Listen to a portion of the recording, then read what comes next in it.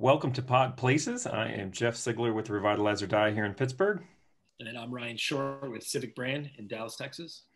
And uh, Phil is, is taking some time off from the pod, but uh, we are very fortunate to have uh, Proud Places contributing partner John Paget with us today. Uh, John is with First and Main Films and is going to be talking about the uh, Better Cities Film Festival, which has been going on. So we're looking forward to getting into that. But first, want to start with uh, how how are you guys doing? Doing good. Enjoying the. We are just talking about the fall weather. We're we're enjoying that here as well. So. Yeah, you guys get some of that down in Texas. Barely, not like you, you guys. Um, we get it gets a little bit. It gets not hundred degrees for a little bit, and then we go straight into winter. So. That sounds terrible. Yeah. Things in, in Buffalo pretty good.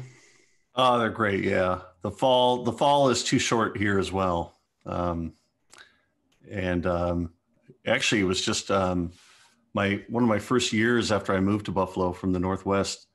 We had a huge winter storm, uh, snowstorm with a couple feet of snow hit October 13th. So that would be tomorrow. Uh, if you can imagine that, like two feet of snow on October 13th. That's wild. I mean, That's the tree, the trees hadn't even turned color yet.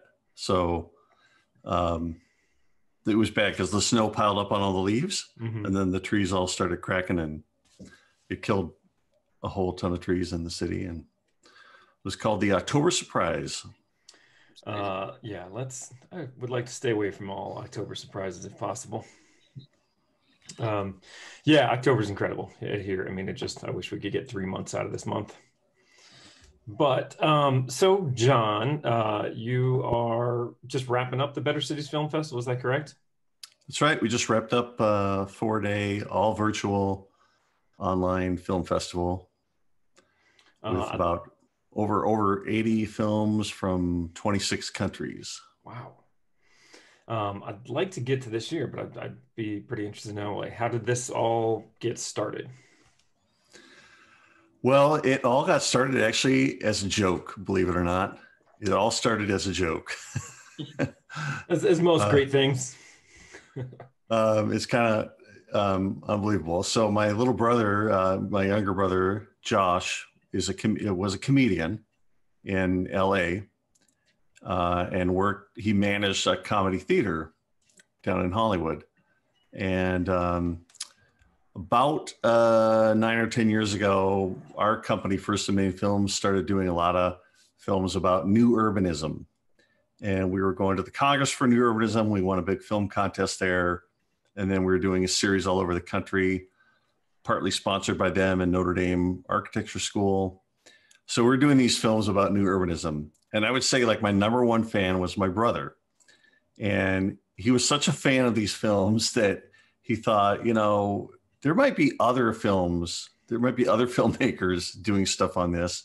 And let's start a film festival devoted to these this genre. So he started the New Urbanism Film Festival, partly just because it's funny. I mean, film festivals we all know have gotten more and more uh, specialized Right.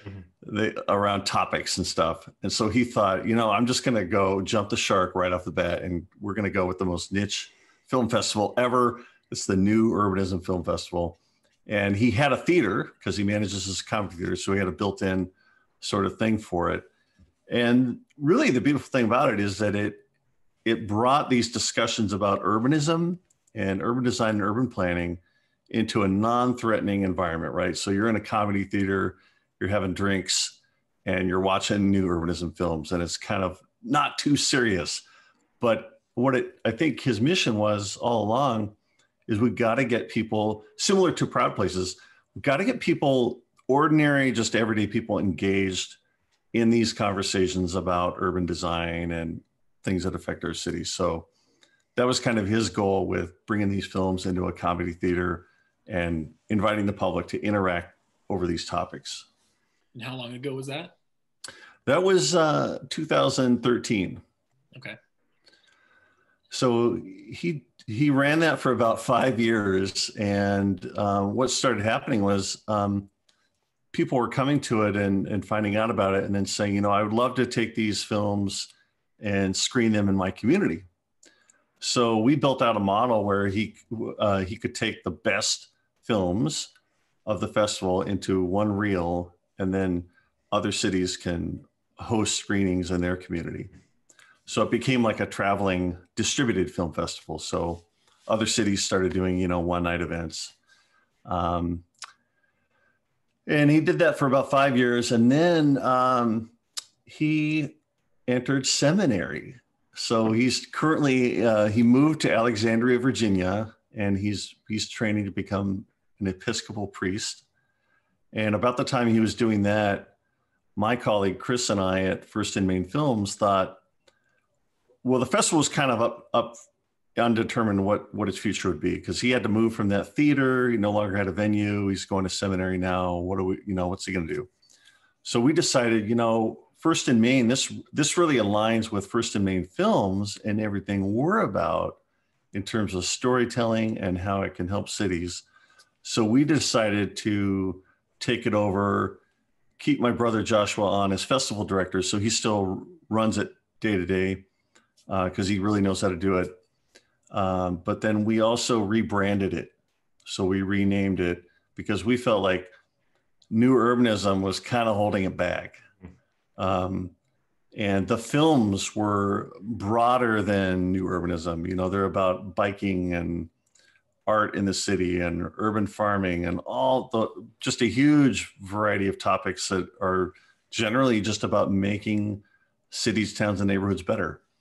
So, I mean, we still have that new urbanist point of view about what makes a city better, you know, walkable, beautiful places like that. But um, we changed the name to just more accurate, accurately reflect what it's about and help people understand it better. Because we felt like maybe the name was kind of holding it back. New urbanism, it kind of, if you don't know it, it may sounds scary or something. I don't know. Sure. Don't, yeah, yeah, I get that. I think that uh, new urbanism is a is a, certainly a term that uh, is is hard to describe, and I um, sort of puts people off a bit. And I don't know. I, I always come back to the idea that like old urbanism is is pretty uh, on point as well. Right. Um, so yeah, uh, but I get that. Better cities, I, I, like. So when did you make the switch to better cities? Uh, just two years ago. So we had we kind of had a one year hiatus, and then and then because we no longer had that kind of built in venue in Hollywood, we asked ourselves, you know, where should we land? Where should we put on this festival?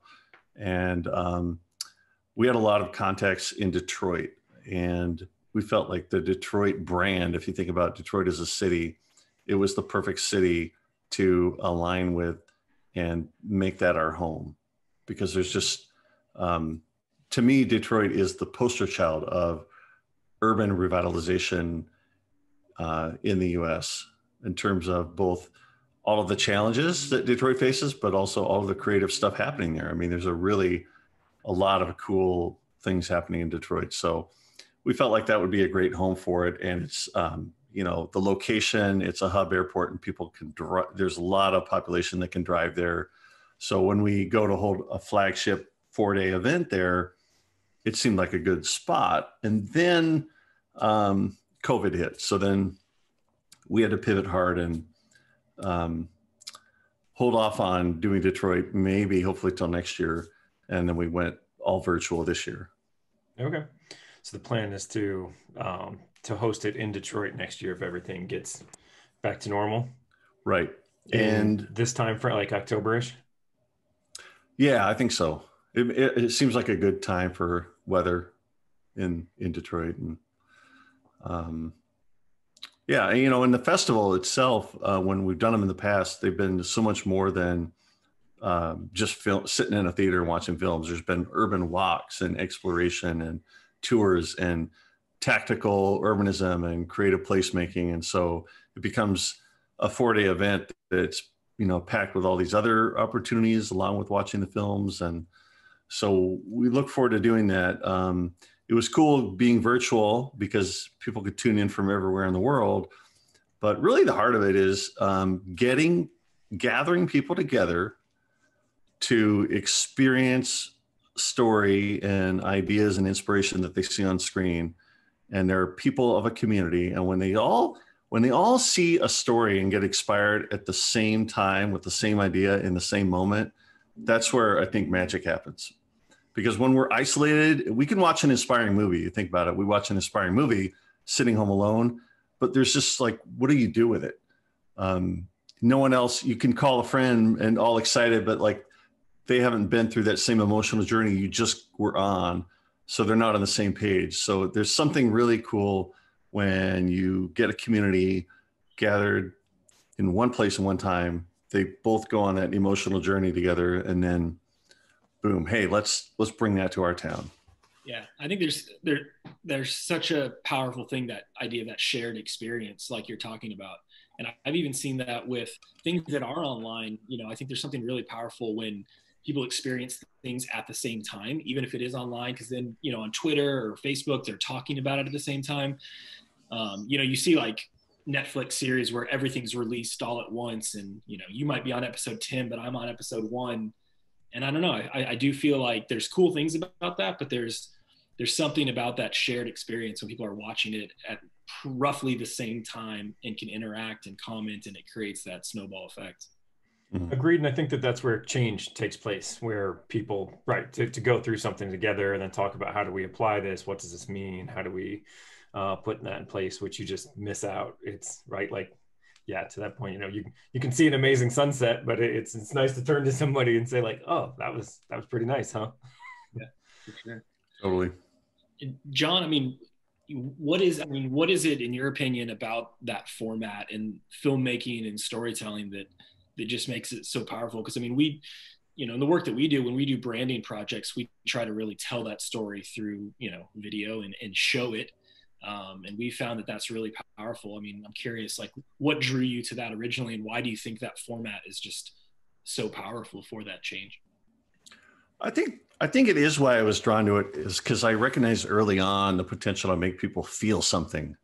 You know, from probably my very first videos I ever made in my life were like slideshows made for my grandparents' anniversary or something, and to be a kid and to put together a series of photos and then choose some music and then you play that for your family and then people are crying. You're like whoa you know i made them i touched them you know i made them feel something. So um, i think it has to do with you know there's so many elements to a film. There's the music that is doing doing work emotionally. There's the visuals. There's the actual um, intellectual content of maybe what somebody is saying. Um, so there's just so many levels of um, things that are happening. But I think probably the most important one is time. It's the one uh, art form that is temporal. So with um, with other forms of art that's not inherently temporal, you can look at a painting and walk away. But with a film, you're watching it, and it, whether it's two minutes or five minutes or two hours, you you've committed this you're in it for this length of time. And that's what can take you on a story and take you through a journey a story arc um, because it just has that time factor. Yeah I'm, I'm fascinated by this intersection of, of urbanism and, and, film and i love that uh, uh, I love the idea. I mean, not having heard of it before, I think it's such a great idea because you know you mentioned earlier that you're you're trying to wake people up to this whole concept of place because it's it's I don't know. I mean, that's this is what we always come back to. Like it's it affects everything we do, yet it's it's somehow um, completely um, behind the scenes. Like it's something that not hardly anybody is aware of uh, their place yet. It's it's everywhere all the time. Uh, and, and that's such a big challenge I think that we all have. So have you started to? Are you seeing that that is happening? Are you finding that people are kind of becoming more aware of cities and urbanism and place through through the uh, Better Cities Film Festival? I think definitely. I mean, I don't think we're still growing it, and we don't have big budgets or corporate sponsorship yet. I think that's where we want to get to, don't we all? But um, so I mean, we're. I don't think that we're. I wouldn't say that we're influencing pop culture yet, but I mean, for the people that we are reaching, I think we are, and um, over years, I think we've gotten now over 800 submissions or close to a thousand. So we now have a library of, you know, a thousand different titles that we can screen. And um, this year alone, I think there was a few hundred submissions. So um, uh, we do see more and more filmmakers, um, I think, submitting better and better content, better and better films every year. Um, and they're just they're, the variety is amazing. You know, I think like one of the audience favorites this year was called, called Motherload, and it's just a film about um, women who use are biking their families around in cargo bikes, and just that whole movement or, or tribe around that and their stories. So that's just one little example of um, what is a better cities film festival type film, you know. That's great to hear. I mean, certainly, yeah, it's promising to know that more and more films are coming in um, to know more and more. Because, like, if if uh, that's a good sign. I mean, I love hearing it. Um, so, talk a bit about how this year's uh, how you switched up and how it's all been going, how it happened. well, um, we had to quickly uh, pivot, and at one time we were still trying to be in Detroit and do some like live stuff from Detroit, but and they really wanted us to go there, but uh, we just it just was too still too unsafe, so it became all virtual, and um, so yeah, it was four days, and the films were available to watch round the clock. Um, and I don't know. Um, I can't tell you much more. We're we're like we have uh, ballots. The balloting is ongoing, so viewers have a week to like choose their audience favorite, and so in about a week we'll come out with our awards. Cool. Um, to that point, you know, kind of how do we get more people aware of this? I mean, what do you what do you see occurring uh, in the um, what do you think it takes to get more people aware? I mean, I think the movies are a big part because that's a big part of pop culture. But what else do you see that needs to happen to help make? Because I, I know that we are all well aware of how important it is that that we surround ourselves with places that you know that are nice, that are quality, that that provide you know with a healthy lifestyle. But you know, kind of interested in your input as a filmmaker. Like, what else needs to happen to make more people aware? Well, you know, I think we've talked about this. I think we need there needs to be a TV show and um, like an Anthony Bourdain. What Anthony Bourdain did for food. I think there needs to be um, a TV show. That's pop culture. You know, if we get a TV show where um, people are going around interpreting place, but you know, in the way that not in an intellectual way, but in the way that Bourdain did for food, making it relatable and um, I've heard rumors of some shows like we've always seen these extreme makeover shows that are all about the home and the house. You know, what about the neighborhood? And we've pitched ideas for shows dealing with neighborhood transformation, but it's it's so tough because with a house you can shoot something self-contained and actually bring in crews and like see it transform within a month or a week and kind of capture that on film. But you know, neighborhood transformation takes decades in some cases, especially if you're doing something that's built to last, you know. So I, it, it's just not for that type of show.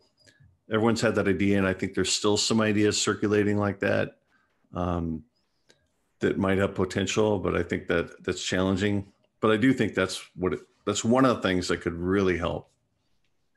What are your thoughts on just encouraging and inspiring just that amateur user generated content. I mean, with iPhones, people can shoot decent stuff these days. I mean, just I don't know how do how do we encourage more people to go out and just view their place as their subject, you know, and just take photos and videos about your place and share it, what's working, what's not.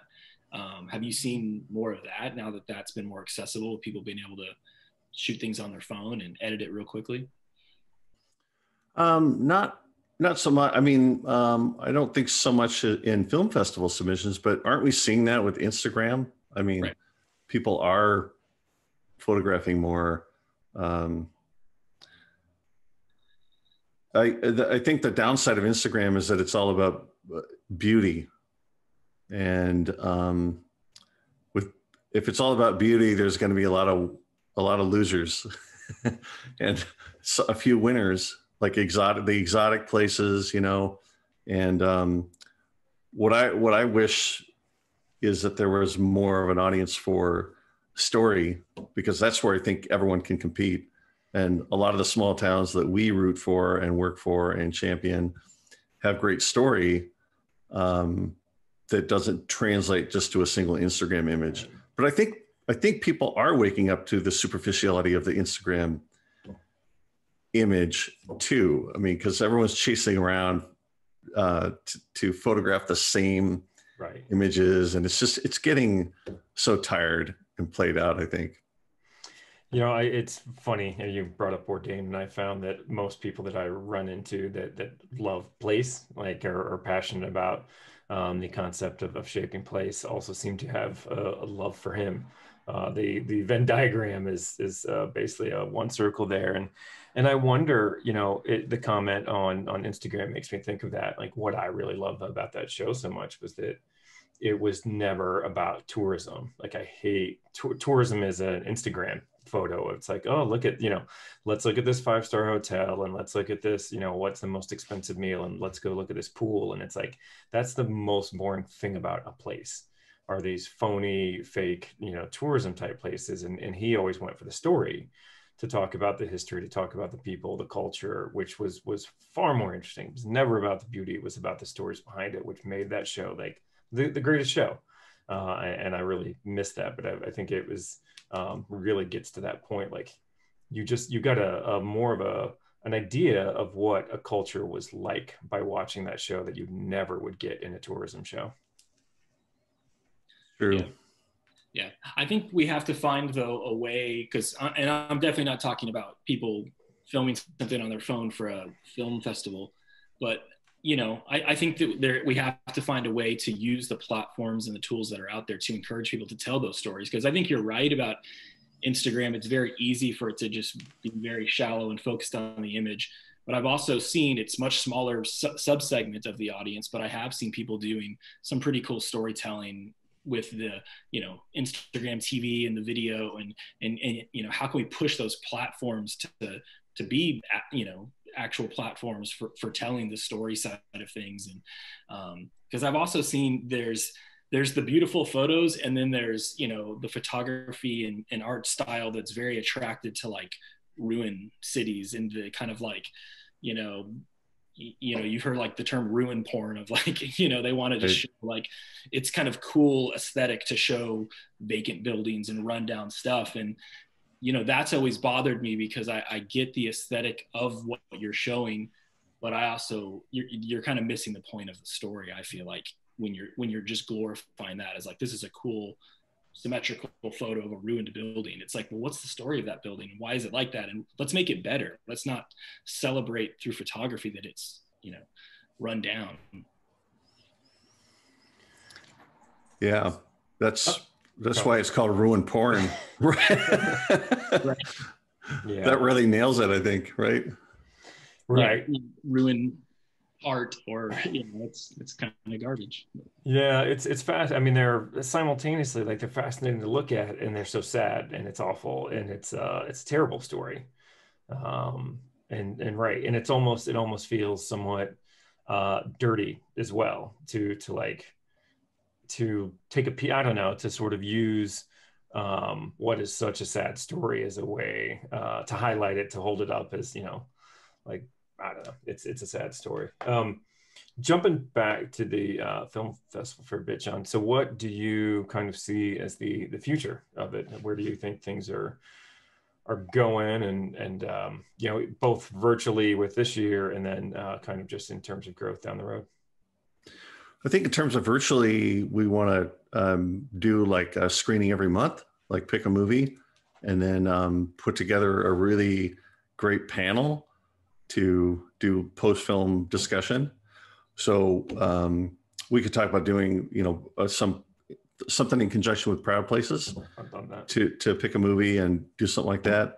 Um, but yeah, do, doing a once a month screening online, I think will be great you know what we discovered is that wow you know four days to binge watch all these all these films is just um, that in a way it's cool but it's a challenge too so we think that just doing a once a month screening and really promoting particular film and a great panel would be great but really what we're hoping is to get back you know i know um, whenever we're allowed to return to gathering. Um, the real vision for this is those local community screenings. So for a very small fee, we've got a system streamlined to where a, a community group, a civic group can um, take the best of the fest or curate a screening. Like if if a city or town is like looking at a big master project to do bike infrastructure and bike lanes in their city, we can curate a whole reel of short bike films. Or if they're looking to do housing, or if they're facing issues of equity, um, you know, any topic, we have now have this massive library of nearly a thousand films, and we can curate a reel of the best films on those topics. Um, so that's what that's where we think the film festival can do the most good is when community groups can meet again and then we can put these reels together and local places can do their own screening of the better cities film festival. Yeah.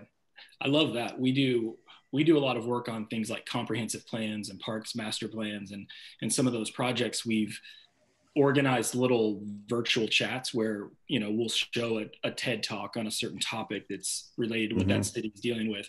And then we can kind of the consultants can kind of do a q&a afterwards.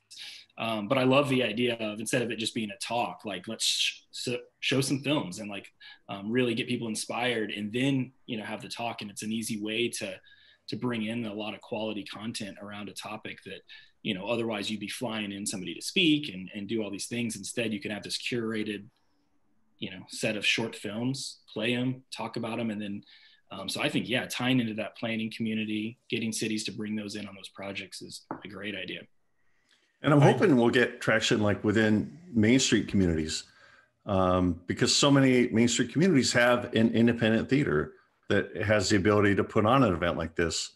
Um, and it's just perfect. I mean, um, you know, gather gather people together not just to be entertained, but to for unique entertainment that's also for a purpose. Um, so, I'm, yeah, I'm, we're optimistic that someday when we can come back to theaters, um, we'll be able to really ramp it up and do those local events again. I love it. I, first, yeah, I think that uh, um, Proud Place is working to uh, working with Better Cities and, and First and Main to uh, do a, a, monthly screening is a great idea, and have some panel discussions. I think that would be very fun to experience it with with other people and, and just have some good conversations following. Because yeah, I just I think that's a great fit. Um, and then yeah, doing the that makes a ton of sense about uh, being able to have them in the communities because right the, the thing about places it's just a it's a hard thing to understand how much it change like video gives us the best chance of being able to understand how decisions like um, brick streets or, or, or public transportation, you know, the, the, the pieces that make up place are really hard to, I think that's what's a tough thing maybe about this field is it's hard to get somebody to understand and appreciate how much place affects them until they go somewhere else, until you've experienced a place that does make you proud or you, you know provide dignity. And i think that film has such a great opportunity to, to help do that. So and i'm, I'm thinking of a couple uh, local theaters here in my neighborhood in south hills of pittsburgh where i would really very much like to host something like that. I think that this is a city that would um, be into that. Uh, pittsburgh thinks a lot about um, you know place and how we can do better in design. So i'd, I'd love to uh, put something like that on here. Exactly right. I mean it's cross pollination right? And seeing what other seeing the ideas that have worked in other places. Right. Hmm. you know and then they're not just an idea but wow it worked there. It can work here you know. So there's people that would want a, a main street community or an organization that would want to do that. I mean where should they go to the better cities film festival site or first and main like what, what would kind of be their step to, to bring something like that to their town? Yeah if you go to better uh, bettercitiesfilmfestival.com we have a whole we have you know button there right on the menu that's about hosting how to host. And then if you have a film there's also the submit button for submitting film. Mm-hmm. so. Uh, can you have you gotten through all the films this year? No way. Uh, josh josh my brother is the festival director. He has he has watched okay. and he's watched every single one of them every single year. So I kid him that he's, he's you know he probably he has this encyclopedic. He's the foremost expert on films about better cities. You know, I mean, he can. Hey, Josh, is there a film about you know? Um, I don't know. Just pick the most obscure topic, and he'll he'll know them all. Oh yeah, we have an animated short from 2017 that was wow. so. So I know uh, you guys are doing uh, like the voting is going on in the awards. I guess are you able to talk about any films that you from this year that you really liked or that stood out while that's going on or yeah um, you know one amazing one was segregated by design hmm. um, based on richard roth rothstein's book the color of law about um, how american government you know really did through laws and policies segregate america hmm. and um, I have not read the book, but Jack Story and I interviewed the filmmaker, and Jack had read the book. I think, yeah. And um, the film is just amazing. I think it's like 17 minutes long. Now, most really complex animations like this are like two or three minutes because they're just, you can't believe the amount of work that goes into them. And this one is just beautifully done um, by a guy in um, Austin, Texas, Mark Lopez. And um, yeah, it condenses kind of the idea, all the ideas in the book into mm-hmm. this 17 minute film. And in some ways, just because of his visuals and the music, it, it I think packs an emotional punch that, um, I mean, I'm sure the book is incredibly devastating too in its critique, but the film really is spectacular. Um, I would love to, right, right. Like that's such a deep, dense, important topic, but it is it's hard to convey in less than 700 word or you know pages i'm sure. Yeah. Um, because of how much goes into it and like right that would be fascinating to see how somebody could convey it in 17 but but i i mean but you can you can convey so much more that way and and again it's such a better way to i don't want to say better way it's such you can show somebody explain something uh, so much faster and and um, get so much more, I guess, into a small space using that. Like that is such a fascinating topic to have somebody approach that way, and I would love to see it. And how how the film came about is, you know, he was impressed by the book, or he heard the guy on NPR, and wrote him an email and said, "Hey, hey I have this idea. I think this would make an interesting project to do an animated film. Are you interested?" He thought the author would never write him back, but he wrote him back right away and said, "Yeah, let's do it." So then he starts looking for grants and can't can never find any grant money to do it. And so meanwhile, he just decides like I can either spend all my time doing the grant finding grant money or I can just do the film. He it took him 15 months of work to do this film and he just cranked it out and it, it's just amazing. And I think it's going to will be a huge contribution. I mean, it can be used in classrooms and um, taught to kids now in a way that you know that book couldn't really work in, in the same context. So I think that's great. Another cool film was about the Space Needle. Hmm. you know, and I grew up in the shadow of the Space Needle in Olympia.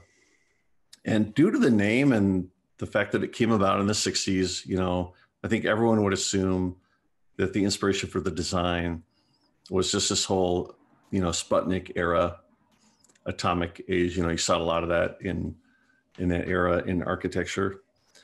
But this filmmaker digs deep into the history of how it was designed, finds out that the designer um, drew inspiration from a sculpture he had on his desk that was by a Seattle sculptor called Three Dancers. And it was um, the shape of like three dancers back to back with arms raised. And, and then researches further to say, well, who who was the inspiration for that sculpture? Who was dancing in Seattle at that time, and was around and discovers the story of uh, Syvilla Fort, who was an African American dancer that came out of Seattle and then went big to New York City and taught a lot of the famous actors and stuff. So she, she was a trailblazing kind of figure in as an African American in modern dance, and so she makes this case. It's a little bit of a leap, but it's a it's an imaginative kind of believable case that the space needle was really inspired by her. And now to me, when you look at the Seattle skyline, that's a great civic story because now you look at the Seattle skyline and you see something totally different. Yes. You see something to be, you see th- something that a Seattleite can be proud of. You see something that can, that is hopeful.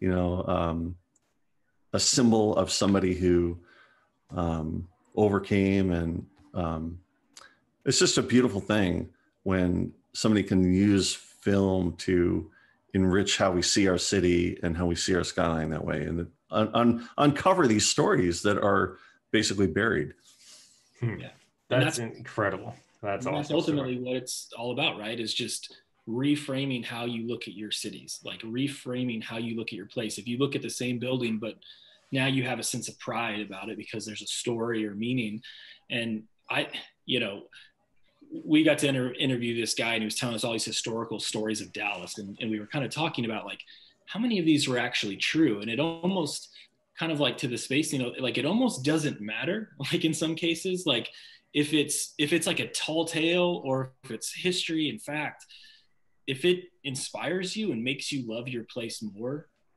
it has value and it's worth sharing the story, I think. Right. And I also think like, you know, to be successful in this area, what we need is more people to understand. And so like take that the the book you mentioned, like, well, if if you know only one in every hundred thousand people ever picks it up, you know, that's that's that's a disservice. I mean, that's unfortunate. But if a 17 minute film, uh, that's that's going to be so many more eyeballs on a subject that is so incredibly important. Yeah. But yeah, story just like you were saying, right? It builds attachment when you start to know the stories about your hometown and those details, um, I do think it creates a greater sense of belonging, a greater attachment, a greater affinity for your place. For sure. And that's something we've lost a lot of. I mean, I always, you know, one of the things when I think about building civic pride is identity is such a big part of that. You know, it, it's like we all have you know we all want to understand our, our dna because it's somehow like oh i you know to know where my grandparents came from kind of gives me a little bit more pride because i understand who i am more. What work did they do? What what part of the world did they come from? Where do they live? Um, and i think that that's very true with place like so many you know a, a subdivision cornfield is has has no identity. There's nothing interesting. There's no history. There's no story. And that's ultimately like you're missing out on something that's that uh, other places would have. Because the you know I, I, guess i've come to this conclusion and, and making a few big moves in my life that you somehow your self identity gets wrapped up in the place you call home and so if your hometown has cool stories, if it has its own sense of humor, if it has its own uh, history like that, that becomes a part of you and, and um, in a way makes you feel more interesting or better. And I, I love that about uh, really exploring place and, and that, that, like you said, the stories. Yeah. And I think that's where, you know, why you have people that really do focus on whether it's, you know, pre- historic preservation or they're real focused on gentrification and some of those things because i think the thing we all have in common is we all want our places to be better right? But we want to make sure that we don't just improve buildings and erase stories you know because if, if they're all nicer and newer and it's yeah this is better and nicer and it's i'm glad it's not vacant but if it loses its story then you, you erase something that you can't get back. And I, I do think that that's an important part of you know when you talk about uh, that's why i love the name better cities film festival because how, how is it better? Is it better because we we fixed up all the buildings and it looks better, or is it better because it's yeah we fix up some buildings, but we also just have a greater appreciation for others and we have a greater appreciation for the stories and the people that were there. Um, it, it's all of that. It's and you can't go one way or the other. Right, and I think to that point, you know, it's really what goes on between the buildings that is where a city happens, is where a city gets better. Like the you know they whether it's main street or the ancient marketplace you know it's it's the street in between those buildings. It's where the stalls are. It's where the people bump into each other. That's where better cities happen. And i think that that is you know there's too much of a focus on buildings. And i love that most of these stories you know they're they're not it's not about the architect. It's about you know what's taking place in between and the small things. And and yeah like the one about the the moms and the cargo bikes like that's such a fantastic and, and cool story because it's such a small part of city but on the other hand like that's where it all goes down. That's where it all happens and that's important to to certain people.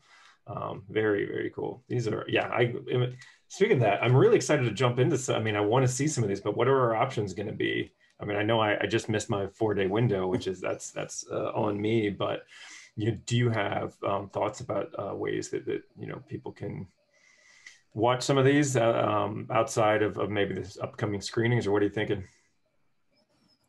Um, not really. I mean, for for our festival, um, you know, we have the the four day flagship thing virtually, and then the local screenings, Okay. and then like I said, we might do it once a month.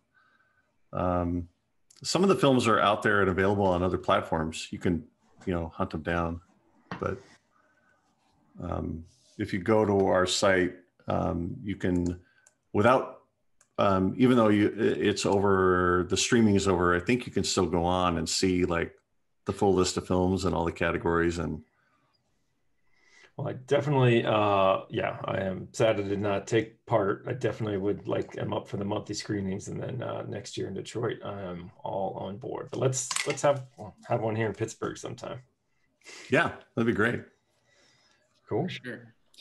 So, John, is there any uh, any any films you're working on that you can you can kind of share with us of what you're what you've got going? Um, we are the the thing I'm trying to get going is to expand on this um, small town spirit series, of which the first one I did was about Tenino and their wooden currency. And what I want to do is just expand that out into an episodic series, going to other small towns and finding sort of the towns that are punching above their weight in terms of innovation and ideas that they're implementing that then will inspire other small towns to say, well, a town of 2,000 people did that. We can do that. Um, so I'm, um, you know, uh, Proud Places has been gr- a great resource for me to say, hey guys, what what stories are out there? And so I'm getting some good um, input and ideas of things, stories to follow up on, and places to go.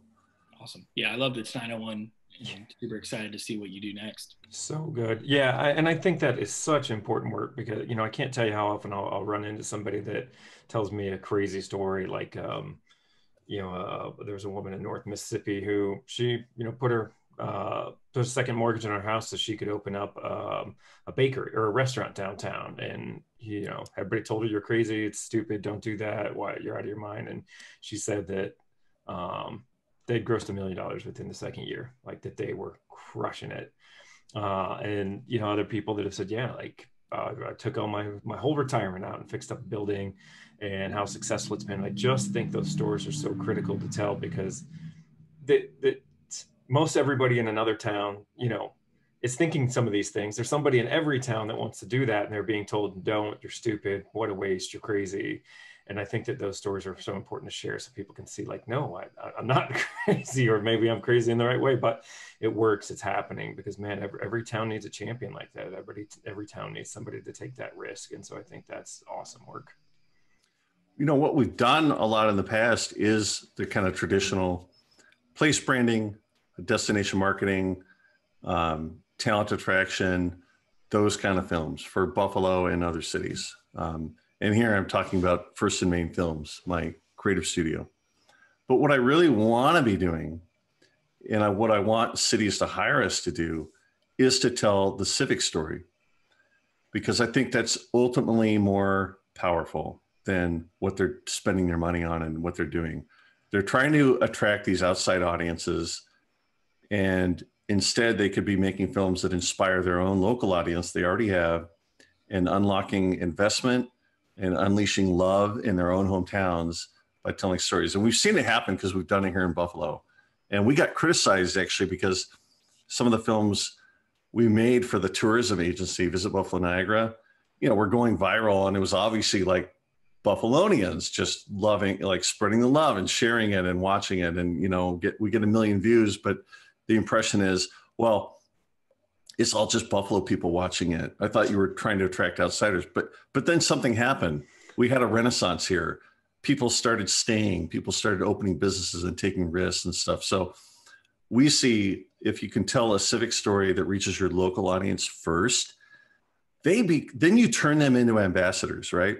Right. Um, the it's this criticism that oh you're preaching to the choir. No, maybe preaching the choir is the smartest thing you can do because then they start the singing then they start singing loud and proud, right? And they become your greatest ambassadors. Um, and you can't buy that kind of promotion. You can't buy it. Um, so if you can, if we can make civic story films that create that kind of attachment and belonging, and love for your hometown with the people you already have, you're going to turn all those people into the ambassadors. You're not going to need to do all that other outside target audience trying to reach outsiders because the people will start doing it organically and they're going to be more effective at doing it anyway.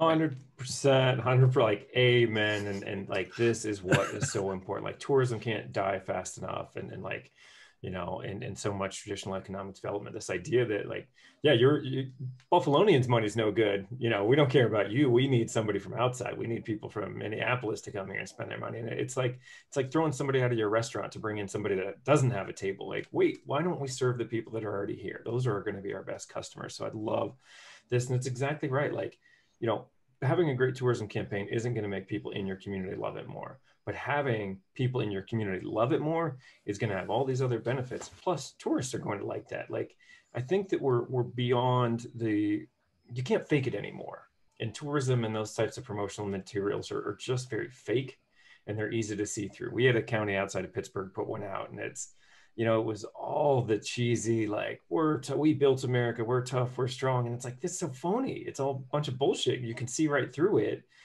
which and it left out any like sincerity or, or good story or it just it left you you knew it was phony and it, it didn't it didn't draw you there and it couldn't have won people over because it just was it didn't ring true. So i love love those ideas. I think it's just yeah. critical. Yeah i mean it has to be authentic for sure. Like that's that's a no-brainer. I mean it's got to be authentic but i think even when your goal is tourism and economic development that's how you do that the right way is by telling those stories and, and making people want to come invest and open a business in your town by telling the stories of those that are doing that. And my article that i think for proud places this month that comes out in a couple days or so is that's exactly what we did is we were we were brought in to do a branding project for two rivers wisconsin. But the way we approach that is we're going to tell the stories of the people that are here. And my article for proud places is about emily who is this at the time she was a 17 year old graduating senior in high school and she wanted to open an ice cream shop in this town. And this was a town that was a factory town and it was it was kind of dying. The factory had left and all her friends are like why would you why do you even want to stay here? And why would you open a, a shop in a dying town? And we did all the traditional you know public engagement and meetings and emily at this time had been open for a year was always the the smartest in the room. You know she ran circles around all the adults that were like you know talking about what the city needs and and she knew it because she just loved this place and she knew no if i know that if i build an ice cream shop people will be lining up down the block will come to this and she did it and she pulled it off and that building has it's like a snowball effect. It's like slowly transforming you know downtown and the city and people visit from all over the state um, and it's such a cool story because she's this now 19 year old female entrepreneur who, despite everybody telling her, "Why don't do that? You know, leave, go to college somewhere else and start some other thing." She did it in her hometown because she had an idea and had that blissful, like you know, you know, just blind optimism, and that's what we need. We need we need to inspire people. So we focused a lot of our video and branding efforts on telling her story because that is, in our opinion, that is the story of the town. Um, mm-hmm so yeah, I love that. Take, you know, that could, I still think that fits though with you're in, I think a city can say, we want to attract talent and we want to attract investment and, and those are noble things. I think then it's our duty to say, well, this is the best way to do that. Right. Tell the story mm-hmm. of these people here. Right. More cities need to realize that and invest in that. And, and they're way behind the times on it. Hmm. Sure. Excellent. Well, awesome, John. Yeah, we can uh, really appreciate your coming on today to chat with us about the Better Cities Film Festival, and look forward to hearing more news. Uh, I think the screenings will be great. Um, we can we can probably get a lot of eyeballs out for that, and I just I look forward to those. Um, as always, uh, be sure to follow us online. So we um, pretty active on Facebook. We've got a couple new articles come out each week from our contributors. Uh, share other articles. Twitter, Facebook, Instagram. I think that's about it. Uh, articles go up on our website, so check out proudplaces.com. Uh, and that is a new website. Is that is that official, Ryan? Did we are we? Yeah, we, with the new site. Update, yeah, updated version that's going to keep evolving, but um, hopefully this one can help people. You know, there's there's now a pretty good depth of articles and content there, so we want people to kind of be able to dive a little deeper and see some of the content that maybe they've missed over the last couple months. So. Great. Well, thank you. Um, so yeah, Proud Places aims to help you know educate and inspire people to to be uh, to shape their place that they can be proud of. And so if you all are are place evangelists, uh, definitely come and, and check it out. So thanks, Ryan, and thanks, John. Yeah. Thank you, Jeff. Thanks, Ryan. Yeah. Good chatting with you.